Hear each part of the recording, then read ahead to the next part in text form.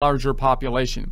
So how close uh, the shape, center, and spread of just some of the population is to the shape, center, and spread of the whole population.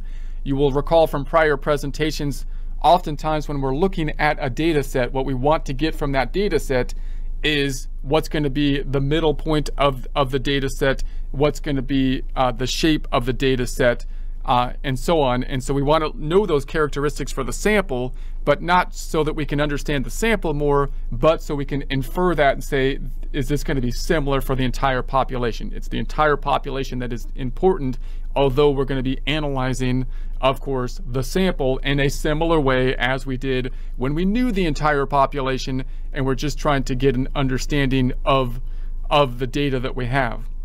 And then this question of how confident we are gets to be quite tricky, and we'll dive into that more in future presentations. We just want to get an idea of what we're doing with the statistical inference here.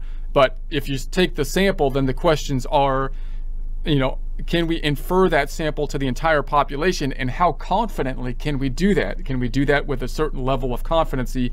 The more we can get numerical data uh, about how confident we are, then the better predictive power we have, the better tools we typically have as well. So practical uh, applications of statistical inference. So clearly the election polling is usually the first thing that comes to people's minds oftentimes. And in that situation, when an election is impending, it is not feasible to ask every single voter who they will vote for. So clearly when you're trying to predict the results of the election, we can't just ask everyone because that's basically we would be taking the election at that point in time.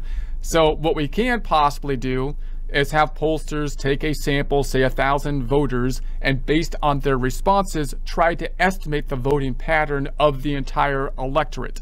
So of course, they're going to try to get a sample and see if they can get the data on the sample and infer that results to the entire population. So it is the challenge of statistical inference to extrapolate